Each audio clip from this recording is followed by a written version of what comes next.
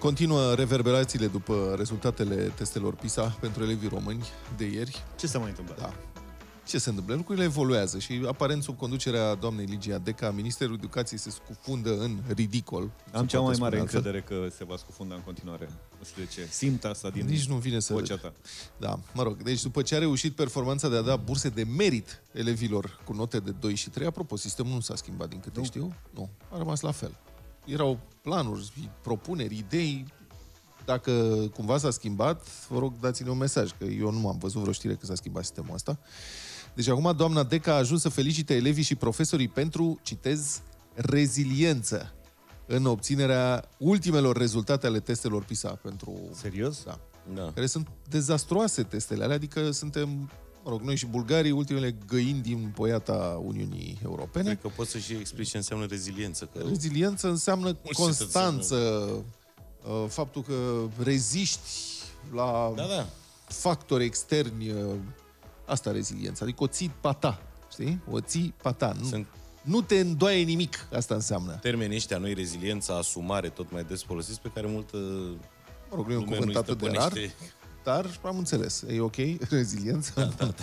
Rezultatele acestor teste, de fapt, atât de proaste, confirmă într-adevăr, dar reziliența mediocrității din învățământul românesc, care a ajuns să producă acum, cred, mai mulți analfabeți funcționali decât absolvenți cu cunoștințe măcar consistente, dacă nu excepționale. Și peste toate, doamna ministru a devenit și beneficiara unui efort completamente ridicol de tămâiere pe pagina ei de Facebook. Deci a postat pe Facebook o postare autolaudativă față de aceste rezultate dezastruoase Așa. și în secțiunea de comentarii au apărut imediat zeci, zeci de postaci cu comentarii tălâmb lingușitoare, care provin toate de la conturi fake, care nu fac decât să promoveze pseudo-știri despre liderii PNL. Și Luca a avut curiozitatea să cerceteze câteva din Da, mă, că aceste eu nu conturi. credeam. Știi, apăreau acolo niște nume de cetățeni și erau niște comentarii, Vlad a zis, zice, bă, astea sunt făcute cu inteligență artificială. Adevărul e că aveau un limbaj... Pot să uh, citesc câteva? Da. Fiți atenți. Texte,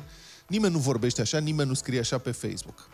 Iată, 1. Încurajăm continuarea cooperării dintre părinți, profesori și autorități pentru a asigura un mediu educațional sănătos și stimulativ. Da.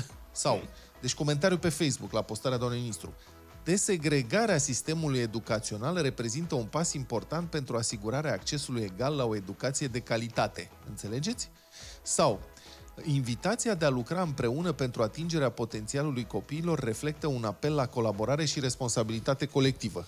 Da, și eu zic, băi, nu se Nu poate... există oamenii ăștia. Zic, cine naiba să facă asta? Adică există softuri, nu mă pricepem. Și am început să dau click pe profilurile respective. Niciunul Așa. dintre ele nu are poză de umanoid. Sunt niște poze cu avataruri desenate sau cu diverse imagini. Și am intrat pe profil și toate profilurile pe care am intrat, vreo 5 prin sondaj, conțineau numai share-uri la postări ale premier, ex-premierului Ciucă. Deci de sus până jos erau share-uri. Atât, da. fără niciun comentariu, fără like-uri, fără nimic. Am Pur și înțeles. simplu Sunt repostări. conturi inventate, evident, și după părerea mea nimic nu descrie mai bine dezastrul în care se află și educația din România. Adică chiar și când rezultatele catastrofale hmm.